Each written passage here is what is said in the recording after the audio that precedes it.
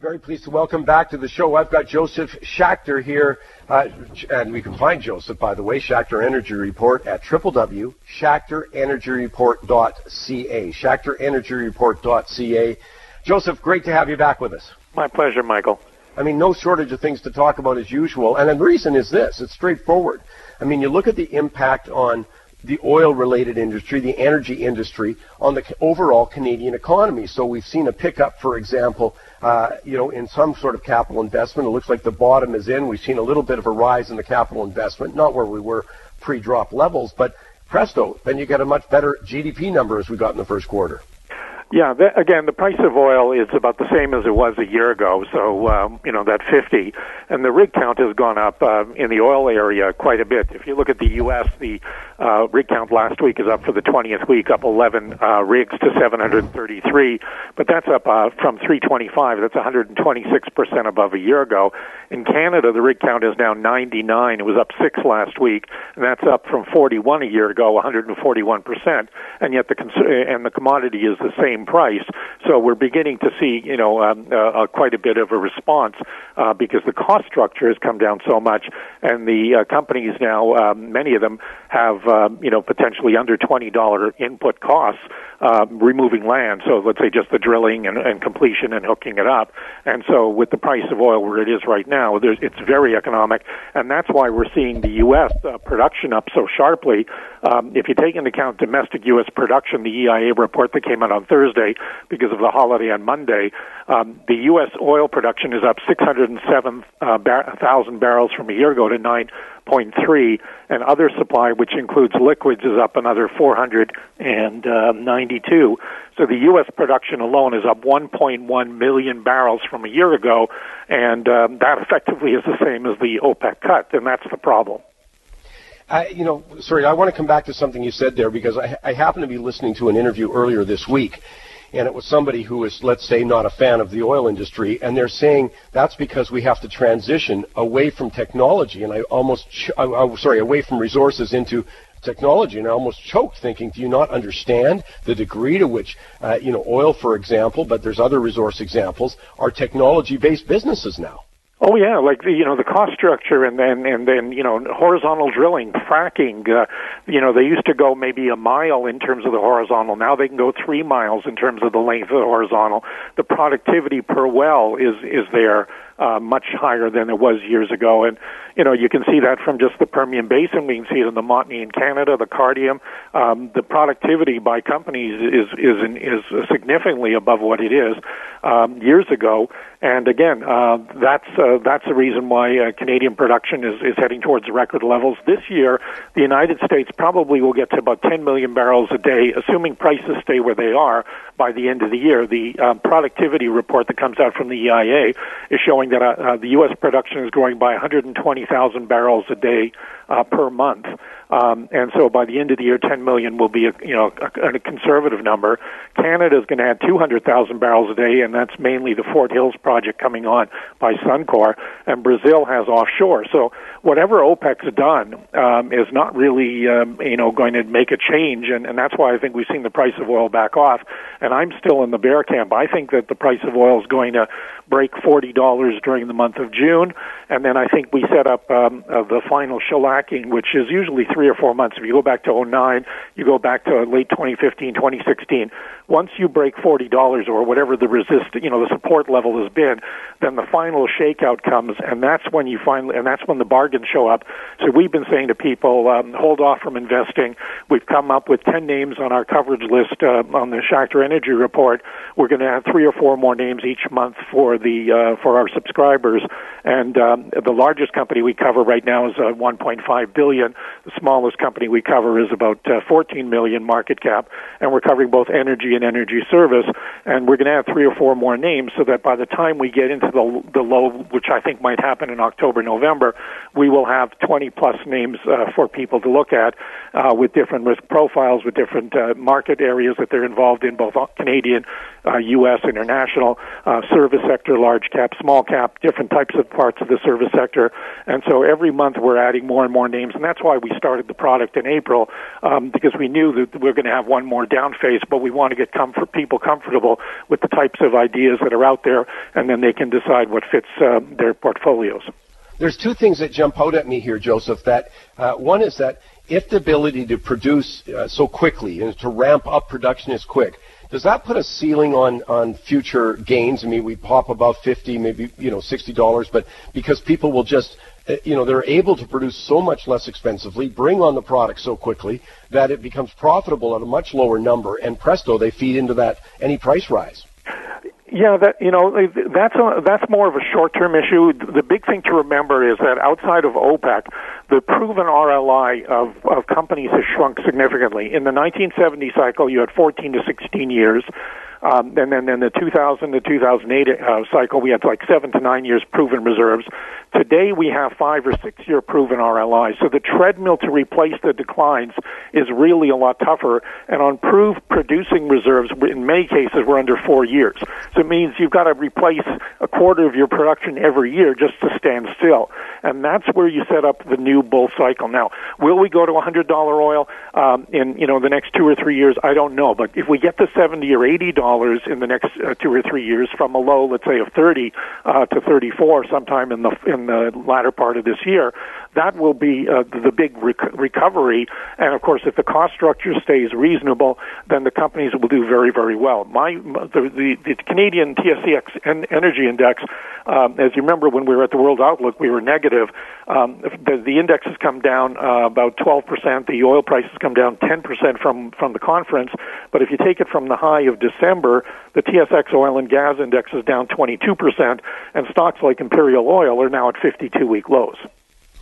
Uh, let me come back to also, uh, is there a number, I mean, it's a broad number, I know, but is there a number we can put on uh, for, for example, if you're talking about Alberta oil into the oil sands, uh, the cost of extraction, uh, you know, compared to, say, 10 years ago or something like that? Oh yeah, if you go like just taking account the problems with Syncrude, Syncrude at, at one point had sixty dollars uh, break even cost, and now under Suncor and and the aggressive uh, you know changes that they've made, the break even is in the low 30s, and for uh, you know for Suncor's other assets uh, that they the, the legacy assets, it's in the low 20s. So they've really done a, an aggressive job of finding ways to be more productive and cut the costs, and and of course be more environmentally sensitive in terms of use of water.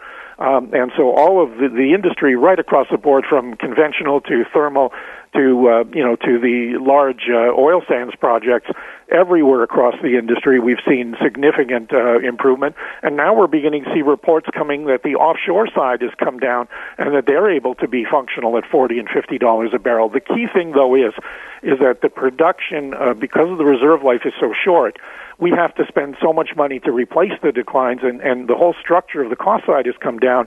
But the but over time um, it, the basins are it's harder and harder to find new oil. You know, there's no talk anymore of new oil sands projects like you know with the eight or ten billion dollar you know big big projects anymore.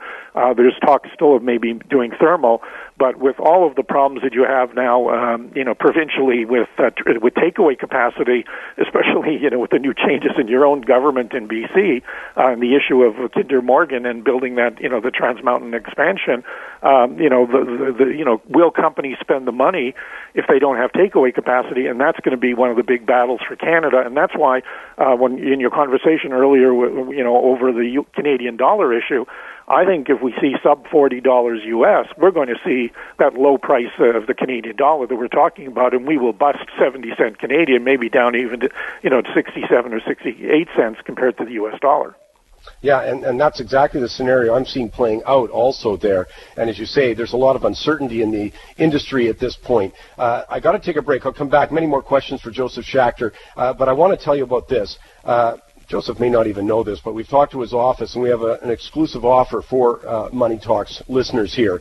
Uh, as you know, it's the Schachter Energy Report I think it's a very important kind of time period for this, as Joseph has just elaborated on. But this is only for this weekend. Uh, so you got to go to the moneytalks.net website there.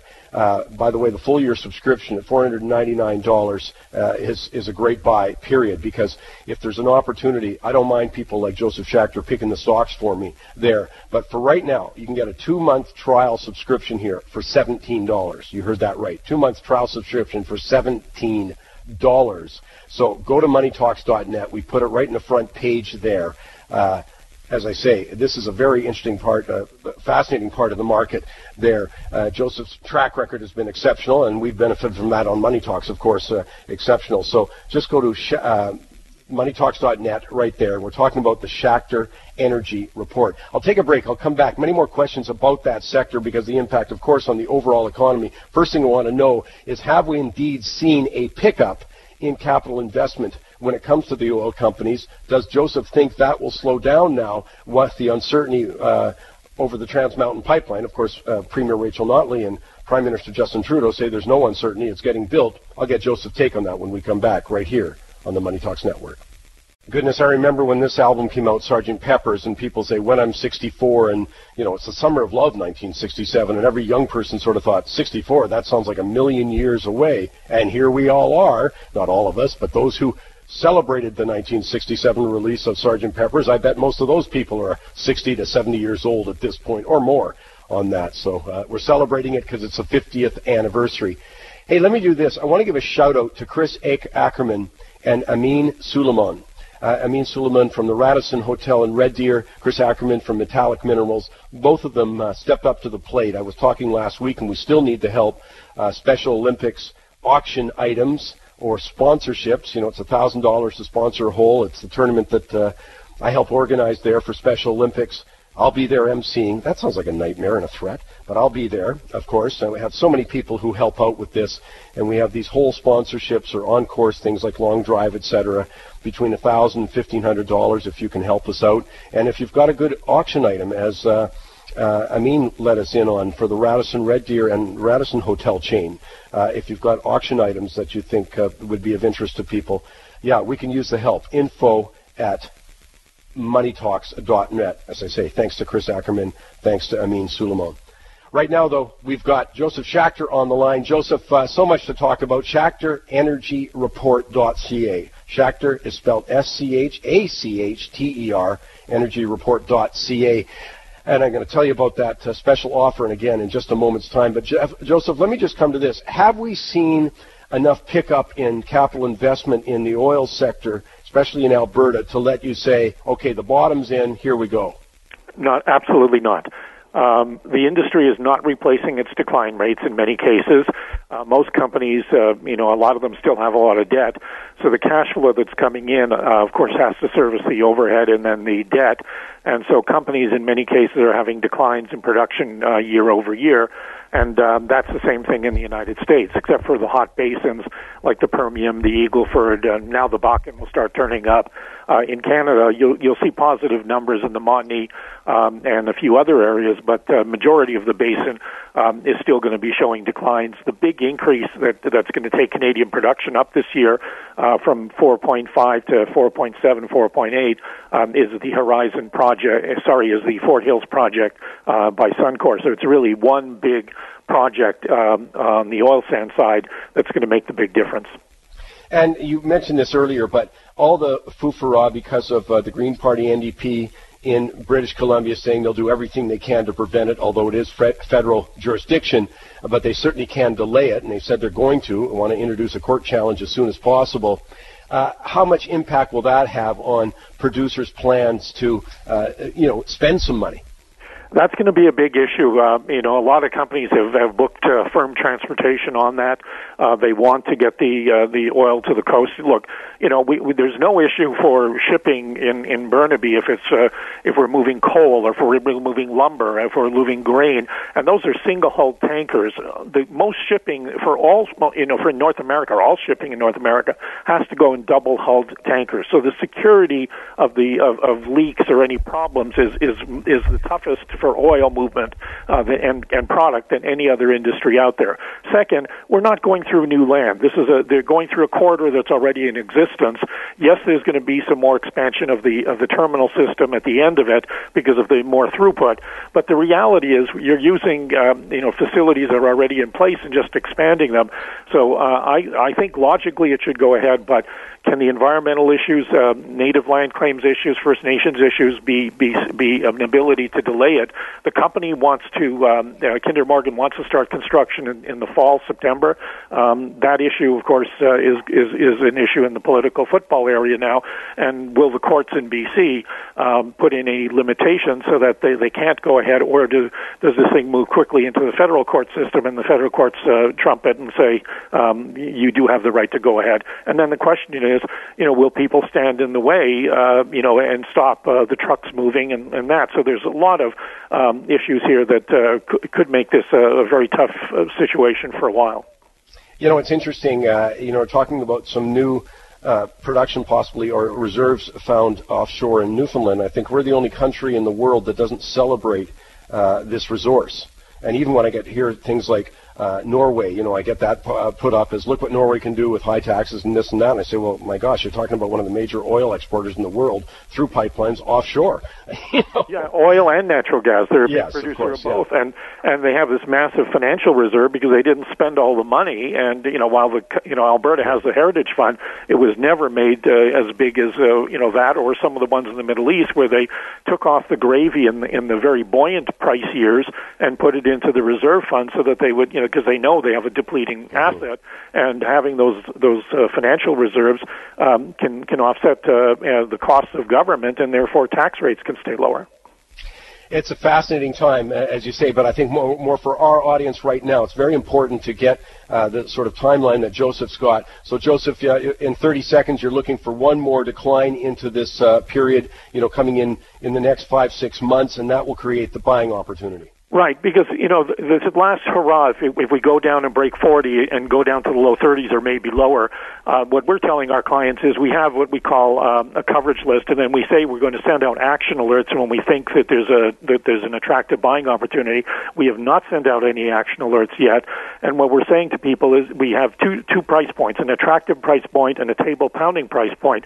The stocks have gone down in a number of cases below that lower level of the table pounding, but the last decline can be very nasty. For example, our largest cap company that we have in the period of the last three, four months of the shakeout in 2009, uh, 2006, 15, 16, went from $7 to $2.84. But then from that bottom and that window when, when there was total fear and that S&P uh, percentage bullish index that I show at the World Outlook Financial Conference got down to 2%, um, that stock went from 284 to $10 in six months. So there's tremendous opportunities here for for investors to buy companies that are that have balance sheets that are, are secure, that are that have done the restructurings and cost cutting to to survive in this area. There, but there are some companies out there, and that's where the danger is, and people should do their homework. Is where they still have significant balance sheet problems, lots of debt, and those companies, some of them may not uh, may not survive be, uh, at the end of this year, and that's got to leave it. At, we've got to leave it at that, Joseph. And I'm going to come back. I'll talk about this offer because I'll tell you how to do research. Go to moneytalks.net. Click on the Schachter button. I'll give you more on that. Got to take a break. My thanks to Joseph Schachter. Back with a shocking stat.